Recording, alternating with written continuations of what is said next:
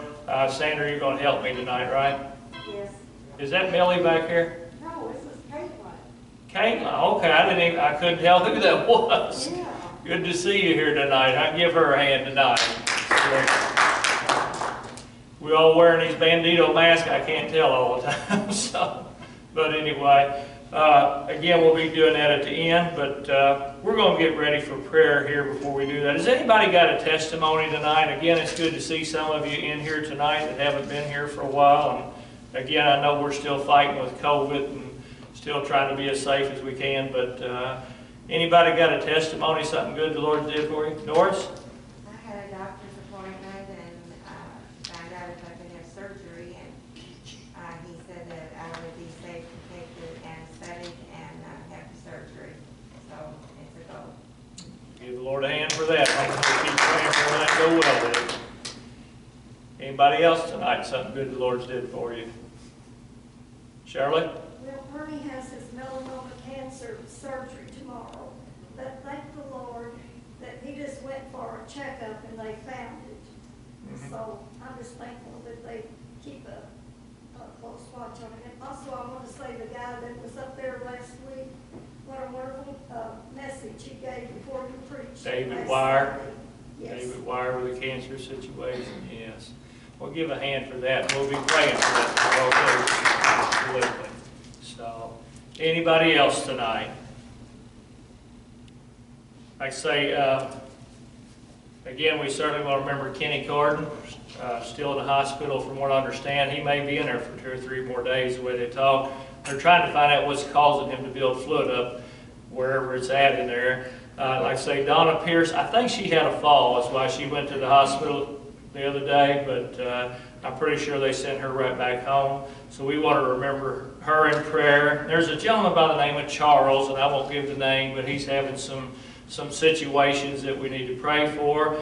And then Dave Wire, his son-in-law's dad, uh, Mike Delaney, he passed away. I don't know if that's any kin to the Delaney's that come here or not, but, uh, again, that's, uh, David Wire's son-in-law's dad that passed, so we'll remember that family tonight also. Brian Hills called, said he's having car trouble, wanted us to be praying for him. Lisa Davis, uh, they called me this morning, she's having some hard times and uh, just wanted prayer, so we, we need to really, uh, again, be praying for her. After she takes some chemo treatments, she said every time it's been worse, so she's got one more to do, and uh, hopefully in the very near future, that I think it's somewhere in the first part of March. So as soon as she gets that over with, hopefully she can get her strength gained back and things will go better for her for sure. So certainly want to, again, keep her in prayer. And uh, again, the Bodkins, uh, Eddie and Violet both, still praying for them. And uh, still praying for, like I said, with Doris here, still looking at a surgery coming up, praying for her and Ben both. And uh, Dave Perkins, I know uh, Tom was asking me about him there a while ago. We got to find out about him. He'd been in the hospital, so we want to keep praying for him. Willie and Doug Fields, uh, Montina Morgan, the Evanoffs, uh, the James family, for all of our shut-ins.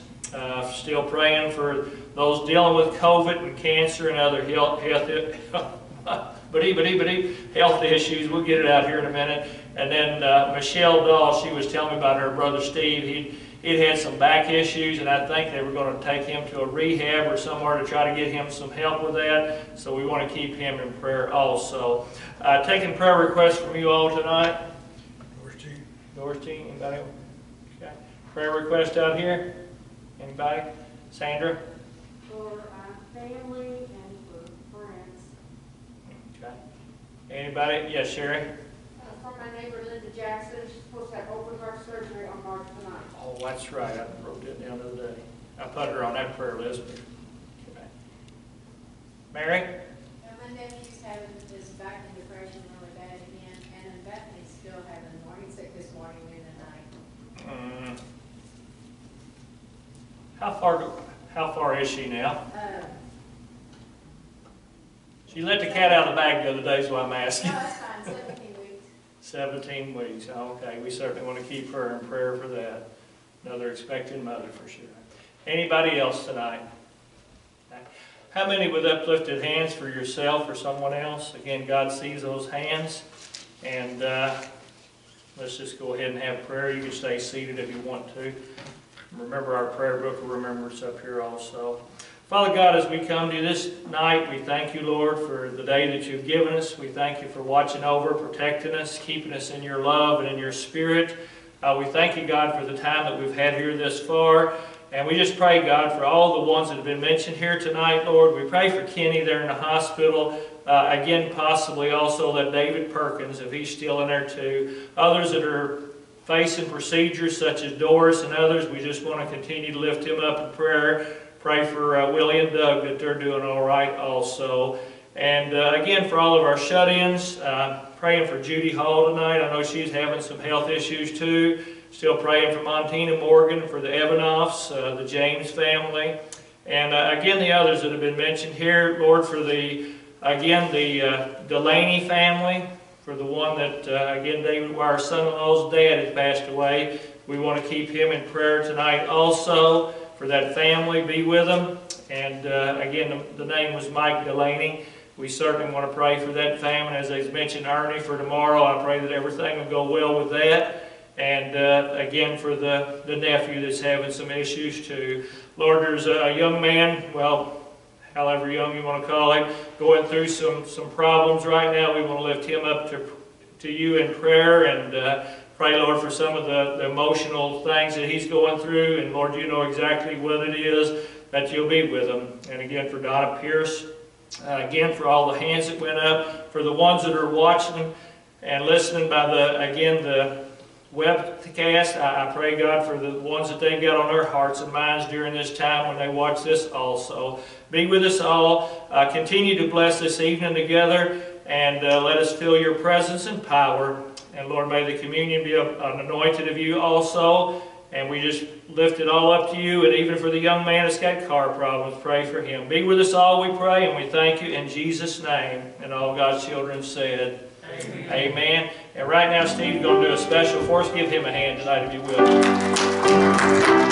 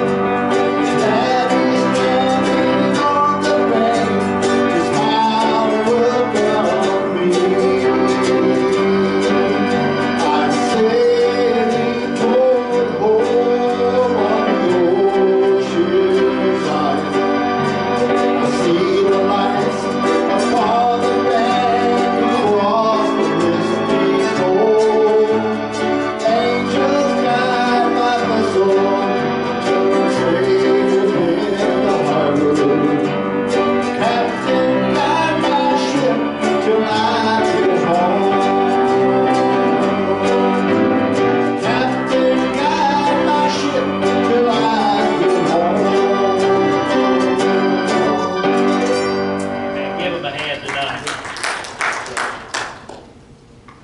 I want to ask you tonight, if you will, get your Bible.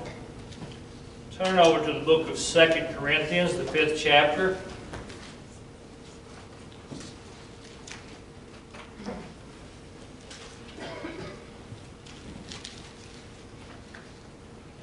And uh, we're just going to start back in the beginning of that. We read some of it last week, but uh, the topic's something we definitely need to keep in mind on. Second Corinthians chapter 5, bless and anoint your word in our heart tonight, we pray, Lord, for those in the building as well as those that will be listening. We pray it in Jesus' name. Amen. Second Corinthians chapter 5, 1 says, For we know, that word know there is intimate. That's not just a a knowledgeable know, that means intimately, I totally know. For we know that our earthly house, and when he's talking about that house, you remember the Bible says, In my Father's house are many mansions. Same word used here. He's talking about our body, the dwelling place that we're in right now, but we've got a better dwelling place coming up. But it says, For we know that our earthly house of this tabernacle were dissolved. We have a building of God, a house not made with hands. In other words, it had nothing to do with mankind. You know, now, you know, when we have children, you know, the mother and the father has something to do with it. But when it comes to this birth here, this place here, it's totally different.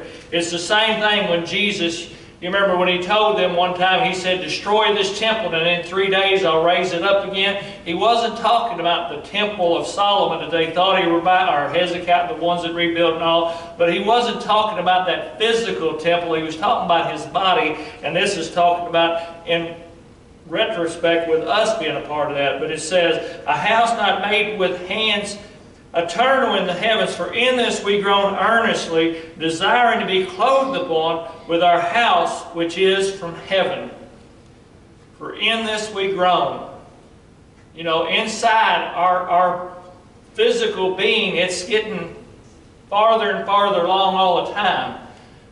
But our spirit is clinging to where it's going one of these days. You know, one of these days, this shell is going to, either it's going to change or it's going to, you know, go back to the ground and then change when it comes out. But, but again, one of these days, this spirit is going to leave this body unless the Lord changes the body at the same time at the rapture, I believe. But again, there's a groaning going on inside because our spirit and our flesh wrestle against each other. You know, it says, know, flesh and blood has not revealed this to you, but the spirit inside of you. For in us we groan earnestly, desiring to be clothed upon with our house which is from heaven. If so be that being clothed we shall not be found naked. For we that are in this tabernacle do groan, being burdened, not for that we would be unclothed, but clothed upon that mortality. We are mortal beings, folks. And mortal, again, that's a Greek word, and it means death, basically. One of these days, if the Lord don't tarry, our, our, you know, our fleshly part of us is going to die. Clothed upon that mortality might be swallowed up with life. Now, he that hath wrought us or prepared us, made us, or whatever you want to use for that, for the self same thing is God who also hath given unto us the earnest of the Spirit. Now, I believe he's talking to Christians there, don't you? I believe he's talking to believers, and I'll say more about that when we read on down here. Therefore, we are always confident, knowing that while we are at home in the body, we are absent from the Lord. Hmm. For we walk by faith and not by sight. I was talking to a person, I think it was Sandy Coulter this morning. I was talking to her a little bit, and we were talking about, you know, uh, again, one of these days, this is going to take a transformation. We're going to go from this place to another place. You know, it's just kind of like trading homes. You know, this home that we're living in right now is not always going to be the home we're living in.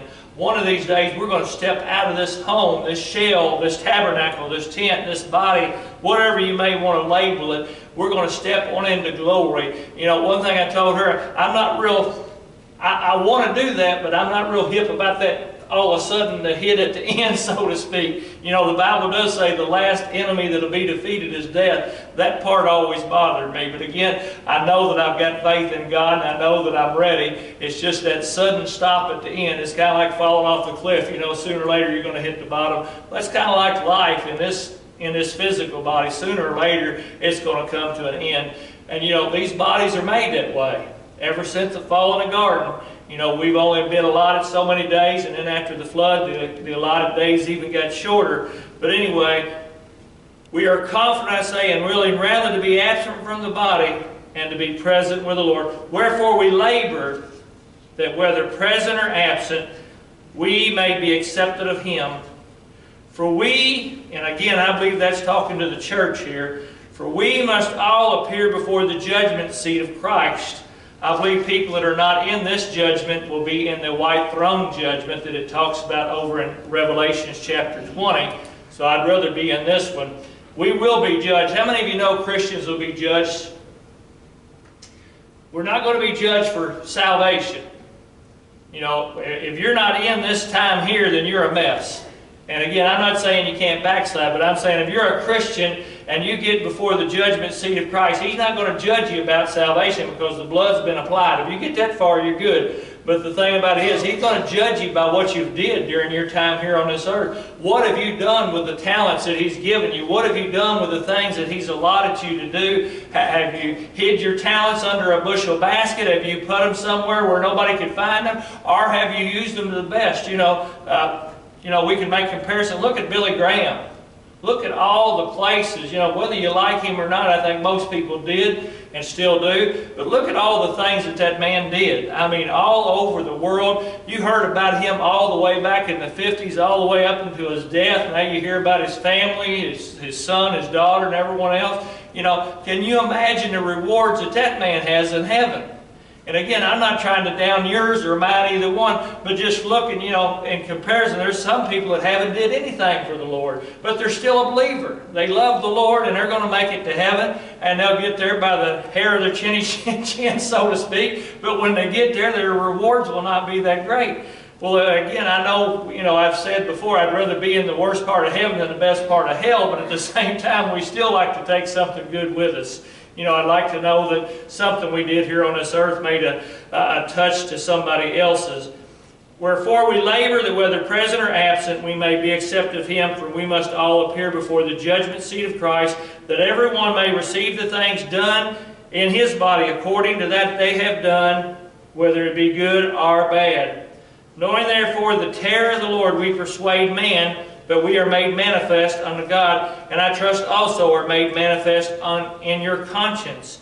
For we commend not ourselves again unto you, but give you occasion to glory on our behalf, that you may have somewhat to answer them which glory in appearance and not in heart. A lot of people just being show-offs, and their heart's not really in what they're doing. For whether we be beside ourselves, it is to God, or whether we be sober, it is for your cause for the love of God. And again, we talk, the love of Christ, I should say. We talked about last week that again, Paul was defending his ministry. He's still doing it in part here, letting them know this.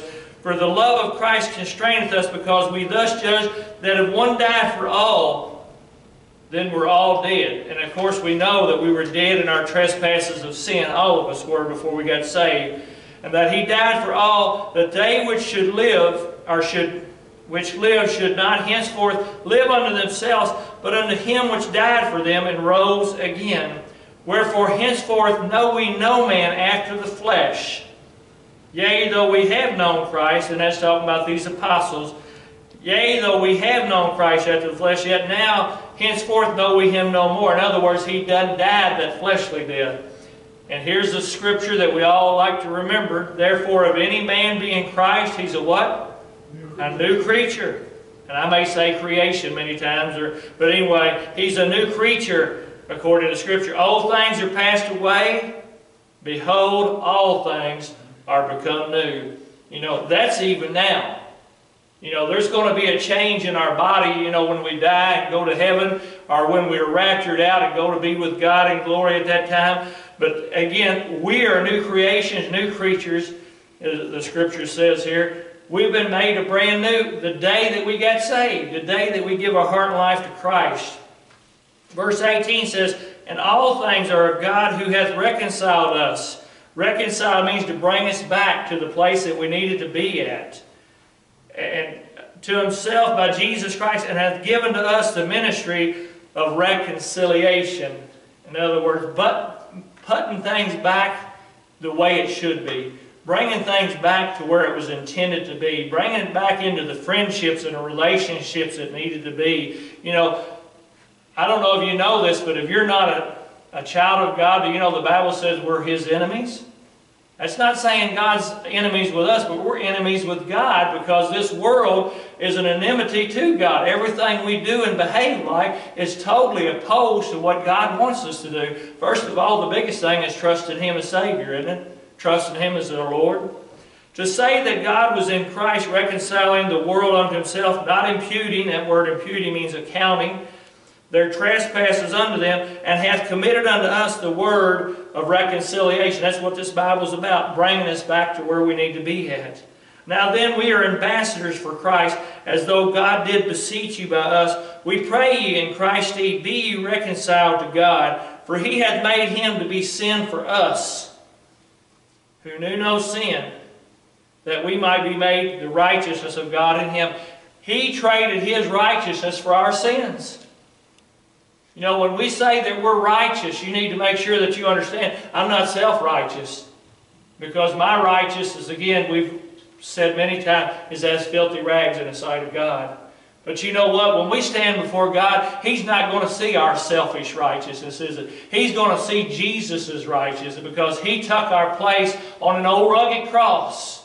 And when he did that, he exchanged what we couldn't exchange ourselves. He took upon him what we couldn't take uh, out of ourselves, and he took it and nailed it to that cross. And even defeated death, hell, and the grave, praise God. Aren't you glad of that? Praise God forever. For he had made him to be sin for us. You remember when Jesus was on the cross, and he said, My God, my God, why hast thou forsaken us? Or forsaken me, I should say. The moment that he was doing that, that's when the clouds, remember it became dark all over the earth, it said that day. And it was probably around somewhere between 3 and 6 o'clock in the afternoon. It shouldn't have been that dark at that time. But that darkness came because I believe the Father had to literally turn his face away from the Son. Because the Bible says God cannot look upon sin in a favorable way. I know God looks at us and we've had sin, but I'm talking about favorably. You know, that darkness come upon the face of the earth when Jesus actually become that Lamb of God that was dying on that cross that day. But again, He traded His righteousness for our sins and defeated them. And again, He still has His righteousness because He raised from the dead. And again, He sits at the right hand of the Father, making intercession for us. I want you, if you will, also turn with me to 1 Corinthians chapter 15 tonight. 1 Corinthians chapter 15. And at least we're not trying to beat an ice storm tonight, are we? so we'll save a little time for communion here at the end. But uh, I want you to turn to 1 Corinthians 15, 35, verse 35. But some man will say, How are the dead raised up? And with what body do they come? Thou fool, thou that which thou sowest is not quickened except it dieth, or it dies.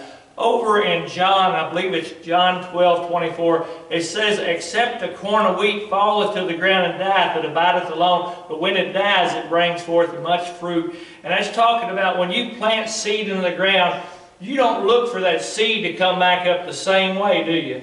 You know, if I plant corn seed, I want a corn stalk to come up. You know, when I sow, well, again, it's making a comparison about our bodies with this too. But it says, going on here, and that which thou sowest, thou sowest not that body that shall be, but bare grain, it may chance of wheat or of some other grain. Again, this is comparatively speaking here. But God giveth it a body as it hath pleased to him, and to every seed his own body. All flesh is not the same flesh. There is one kind of flesh of man, another flesh of beast, another of fishes, and another of birds. There are also celestials. What is celestial? Anybody know? Celestial is talking about heavenly. Okay? And terrestrial is talking about, you know, the earth here. There are also celestial bodies and bodies terrestrial, but the glory of the celestial is one, and the glory of the terrestrial is another. There is one glory of the sun, another glory of the moon. Again, comparison. He's not talking about resurrections of these, you know, inanimate plate things, but it says there is again, one glory of the sun, one of the moon, and another glory of the stars, for one star differeth from another star in glory. Do you know that God knows the stars by name, basically? So also is the resurrection of the dead. It is sown in corruption, it is raised in incorruption. In other words, it's sown in death, but it's raised, and basically this old body is going right back to the ground, basically. But when it's raised, it's going to be it's going to be raised up mortal, immortal, and incorrupt. It is sown in dishonor, it is raised in glory. It is sown in weakness, it is raised in power. There's power in the blood of Jesus Christ. There's power in the resurrection that makes it possible for us to raise from the dead. It is sown a natural body, it is raised a spiritual body. So we see that there's going to be a, a differential here. You know, I think if you do enough studying, there's going to be some likeness of this body that we have. I don't know how much we're going to recognize each other. I'd like to think that we at least know we're friends. I like to at least know, you know, as far as, you know, certain things, it's got different talkings about it, but I know they rec- you know, because that's a question a lot of people ask, are we going to recognize each other in heaven? For some reason, I believe we'll still have our same identity of the body that we have, and it's going to be different. Remember Jesus, when he come up out of the grave, you know, eventually they did recognize him, didn't they? But did you remember at first they walked with him? You remember the disciples walking with him when he left the tomb? And they didn't even know who he was until they broke bread. And when they broke bread, they immediately knew who he was. So something about the Spirit opened their eyes up to that. Maybe that's something we can look forward to when our eyes are open on the other side of glory. We're going to know each other more than we've ever known each other, praise God. And again, I don't have all the answers to those things, but that's why we're still studying the Bible, isn't it, all of us? Going on here, it says, there is a natural body and there is a spiritual body. And so it is written, verse 45, The first man, Adam, was a living soul. A soul is a mind, will, and emotion. The last Adam was made a quickening, that means a living spirit. Howbeit that was not first which is spiritual, but that which is natural, and afterwards that which is spiritual. The first man is of the earth, earthly. The second man is the Lord from heaven. And again, I still think that has to do with free moral agent. You know, God give us free, you know, we've got the ability to make decisions. You know, the Bible says, choose you this day whom you're going to serve. Again, just to boil it down, Jesus said, if you love me, you'll keep my commandments. You know, if you don't love the Lord, you're not going to want to do what the Lord says, are you? If you don't love a person, you're not going to want to do what they say. You know, when you love somebody, it's not because I have to do something, it's because I want to do something. You know, that's the difference between relationship with God and a religion with God. People that follow religions, they burn out quickly and they fail a whole lot more. We fail too, but not nearly as much as if you was just trying to follow the religious thing of it, just trying to do it because somebody give us a list of do's and no. Isn't the didn't the Bible even tell us that the law, you know, it could not save? You know, it, it could condemn a man, it could condemn a woman or a child, but it never could save them. It could never set them free from the consciousness of sins. But when Jesus died on that old rugged cross, and when he was buried, when he rose again, and when he was the first fruit of, of the resurrection, he made that capability for all of us. Not just some of us, not just for preachers, not just for people that go to seminary and cemetery or whatever they want to call it and all that stuff, or you know, people that are in whatever clergy position. It's for all of us as Christians, regardless of what position you may or may not hold in a church or in a religious organization. But, but again, it says, the first, the first Adam is of the earth, earthly, earthy. The second man is the Lord from heaven. As is the earthy, such are they also that are earthy. And as is the heavenly, such are they also that are heavenly. And as, as, and as we have borne the image of the earthy, we shall also, and I believe this is, again, future tense, we shall also bear the image of the heavenly. We'll be like Jesus one of these days, folks. And I'm not talking about deity of God. I'm talking about we're going to be in that spiritual body. You know, Jesus, and you know, there was some things about Jesus. Remember he ate? He still ate, didn't he? I mean, I think he walked through some walls or something like that. I, I'm not ready to try that yet. So, I don't think none of us in here tonight are. But at the same time, you know, he still has some same things, in the complex of what we use today. You know, maybe we'll still be able to enjoy a good fish sandwich, well, whatever comes our way. But again, just teasing sort of. But it says, and as we have borne, well, verse 50, now this I say, brother, that flesh and blood cannot inherit the kingdom of God. Neither doth corruption inherit incorruption. And here we go. Behold, I show you a mystery. We shall not all sleep. That word sleep again is die. We shall not all die. I thought the Bible says it's appointed unto man once to die and then comes a judgment. I do believe, and I think most of you in here believe also, that there's going to be a time when the Lord comes back for His church. He's going to, I don't believe He's going to set His foot on the, on the earth at that time, but I believe that we're going to meet Him in the air as the body of Christ. But when we do, we can't go in these earthly bodies. We can't go in this corrupted mortal body. Something has to take place. We have to be changed. How many of you all remember seeing some of the Tim LaHaye's and some of those movies, uh, Left Behind, and then uh, what was some of the other movies? I can't remember. There's like a whole series of different ones.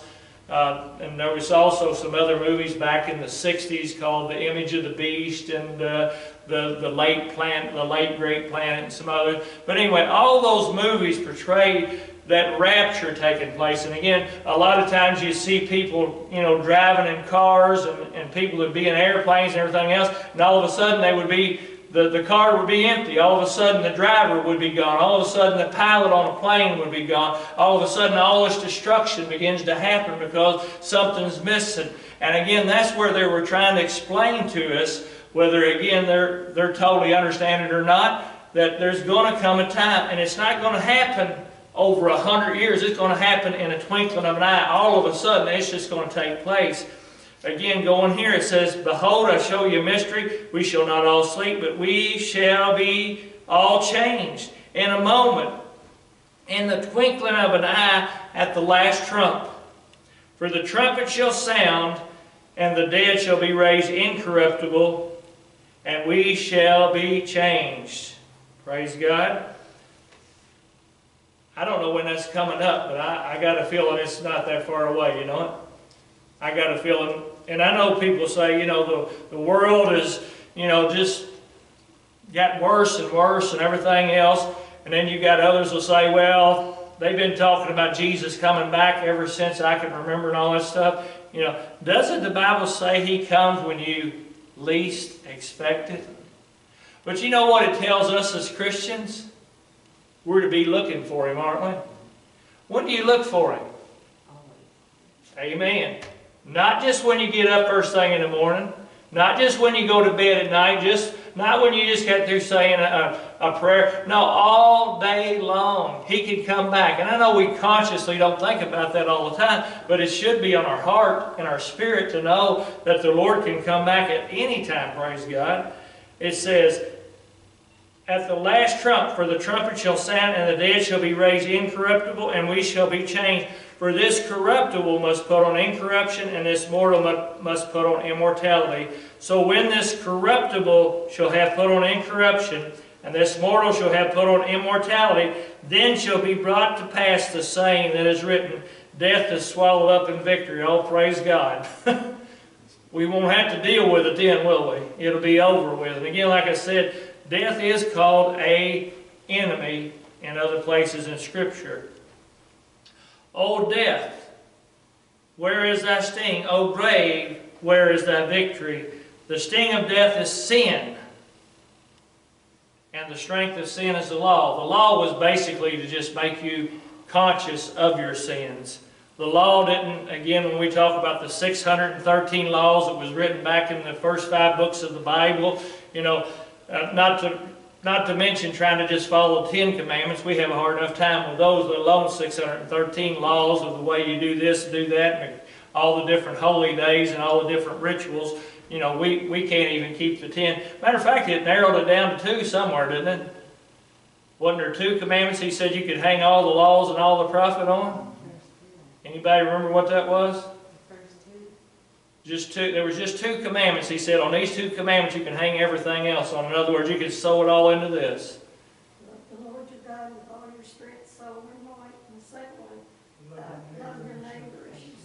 Amen. Those two right there. We have a hard time with those two, don't we? I'm talking about all of it. I'm talking not personally, but all people everywhere have a struggle with that many times. You know, we can say we, we, you know, we've got it all together and everything else, but how many times are trials and tribulations, temptations and things pulling and tugging at us, and we got to pull ourselves back, don't we? That's why it's important for us to study to show ourselves approved. That's why it's important to stay focused in God's Word and, and to stay in prayer and, and to stay in fellowship with brothers and sisters in Christ. You know, COVID made that difficult, didn't it? You know, COVID made that, you know, and we're still dealing with the aftermath of that. You know, we're still not all comfortable about getting together. We still want to keep our social distance, wear our mask in and out whenever we will. But at the same time, we still miss that coming together like we did at one time, folks. You know, one thing I know Brother Cash taught us many times is that unity of prayer. You know, we always tuck hands with each other. You know, you can't do that no more. You don't want to do that because you don't know what somebody else may be having or not having and, you know, giving them or taking whatever. But at the same time, aren't you just looking forward to when this junk's over, when this thing's done with, and we can get back together in our same kind of koinonia fellowship that we one time had, praise God? The sting of death is sin, and the strength of the sin is law. But thanks be to God, which giveth us the victory through our Lord Jesus Christ. Isn't that what the song says? Victory in Jesus? You can't beat that, can you? Therefore, my beloved brethren, be ye steadfast, unmovable, always abounding in the work of the Lord, for as much as you know that your labor is not in vain in the Lord. I want you to turn with me to another familiar place, John chapter 14, and we'll finish up here and go for communion after that. But here in John's Gospel, the 14th chapter, and I know these all have to do with things that we're very familiar with, or I hope we are anyway. Jesus speaking here, of course it's written in red, let not your heart be troubled. You believe in God, believe also in me. In my Father's house, there's that word we were talking about earlier. Know, if this tent or this tabernacle were dissolved, we have a building or a house not made with hands. But again, in my Father's house are what? Many mansions. That mansions, I believe, is some places they would, again, translate that, like, what was the word I'm looking for? I'll come up with it here in a minute. In other words, dwelling places is the word I'm looking for. I don't know that, you know, when we think about mansions, we normally think about a big old house with a lot of walls in it, don't we? I don't know that it's going to be like that in heaven. I know that there's going to be gates. I know that there's going to be, you know, streets of gold and all that. But I don't know that we're going to have as many walls there as we, we do here. Don't we have walls between everything nowadays? We have walls on our houses. We have walls from one room to another because, you know, you want to have your privacy and this, that, and the other. I don't know that we'll even need privacy in heaven, will we? Because, I mean, everything will be open. And there'll be nothing that would be a shame. You remember Adam and Eve, they could run around like naked jaybirds. Remember that? Said they weren't ashamed, wasn't they? Until their consciousness was open. And as soon as they sinned, all of a sudden the knowledge of good and evil, you know, the bad thoughts as well as the good thoughts come. Then they had, you know, the filthy thoughts and all the other stuff. So then they had to clothe themselves. So again, we'll not have that when we get to that other side. But it says, are many mansions. If it were not so, I would have told you, I go to prepare a place for you. How was he doing that? Was he going to heaven and start laying concrete? No. He was getting ready to go to the cross. He was getting ready to lay down, again, his life for us. It says, I go to prepare a place for you, and if I go and prepare a place for you, I will come again and receive you unto myself, that where I am, there ye may be also. So heaven is definitely a place. Heaven is a place that we're going to go past this. And whither I go ye know, and the way ye know. Thomas saith unto him, Lord, we know not whither thou goest, and how can we know the way? There's that Thomas we always call Doubting Thomas, isn't it? But again, aren't we all somewhat guilty some ways? I mean, I'd like to see it printed up on a billboard and know exactly how it's going to happen for me. How about you tonight when we're getting ready to cross over and all that stuff? And again, I know Thomas, you know, he, he doubted the Lord, wanted to see his hands and stuff. But all the disciples run off, didn't they? When the, when the rubber really hit the road. I'm just trying to take up for Thomas a little bit. But anyway, in verse 6, again, one of our favorite verses, Jesus saith unto him, I am the way. There's no other name under heaven whereby man must be saved than at the name of Jesus. The truth, you know, Jesus said, the truth shall set you free. And the truth is God's Word, not man's Word, not man's opinion, not man's anything. And the life, and that is talking about that Zoe life, that's eternal life. It's not just life that we have here on this earth for the amount of time we're here, but it's an eternal life that doesn't end. No man cometh unto the Father but by me. What about these guys that get on TV and they say, well, there's probably more, more roads, and it's not always guys, there's gals that do it too. Some of the pretty big, biggest esteemed ones sometimes too. And say, you know, there's, there's other roads to get there. There's other ways. You know, you can go to, you know, to some of these other gods and some of these other, you know, belief systems. Jesus pretty well narrowed it down, didn't he? You know, regardless of other people feel that way or not, it's sad because when they get to the end of their road, they're going to find out there was only one path. And if I didn't choose Jesus, then I'm a mess. And you say, well, again, that sounds like a very narrow religion.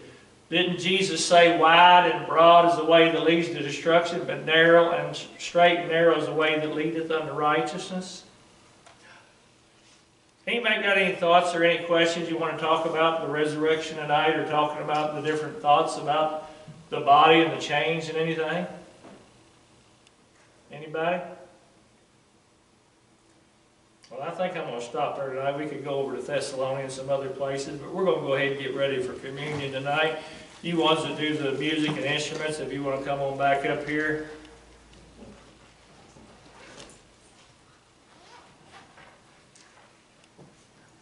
Again, for you that haven't taken communion with us before, again, we're going to be doing that down here. And uh, Sandra, you want to come on up here?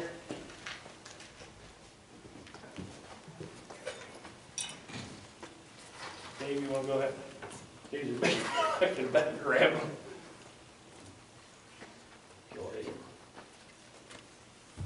Oh, that was wonderful. Just go ahead and grab there on the edge. I'm not doing very good on this tonight. I need to put my mask on too.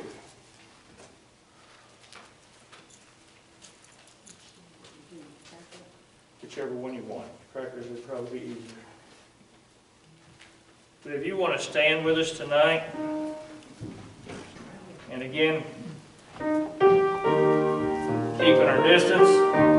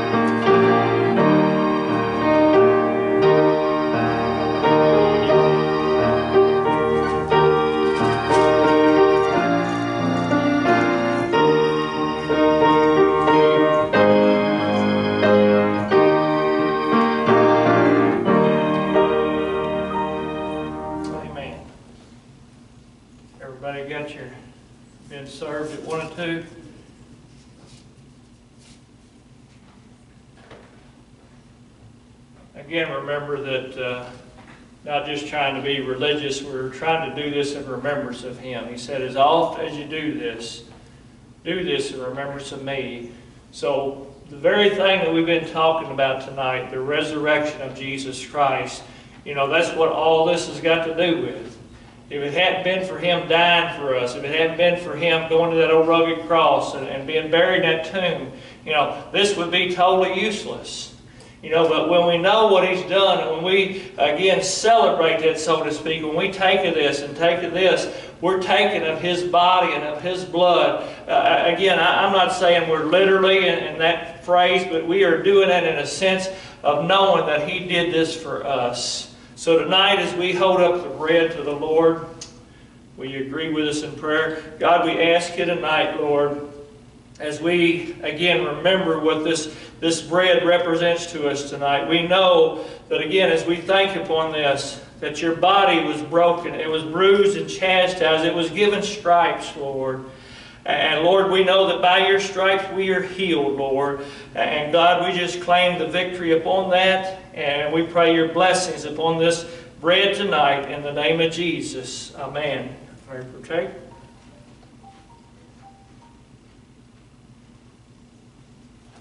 those are a little bit bigger crackers than normal.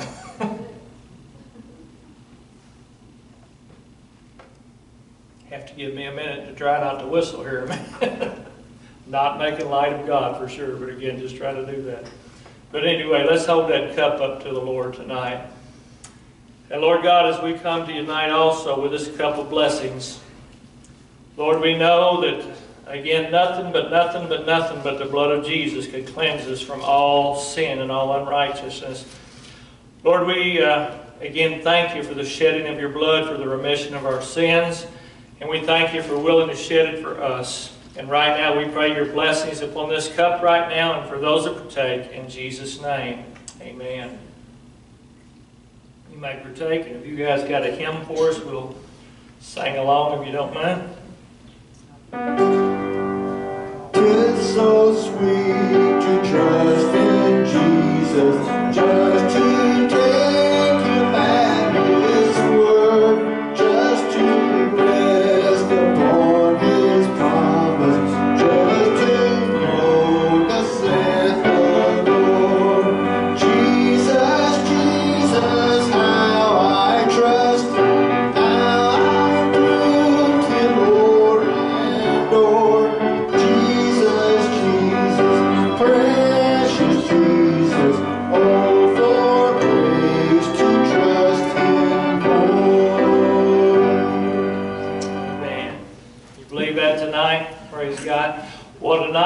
let us say good night, and let's just have a closing prayer while we do so. Lord, we thank you for the time that we've had here tonight. We thank you for the time of communion. We thank you for those that have gathered in this house and for those that will watch by, again, the webcast when that's done also. We just pray your touch upon us. Be with us as we travel to our homes, those that are here tonight. And again, be with all of us till we get to that home on the other side safely for all of us. And we pray your hands upon many souls to turn people to the kingdom. And we thank you for this time in Jesus' name. And pray for those ones watching by web for their needs as well. In Jesus' name, amen. God bless you. Again, have a good night. Be safe going home.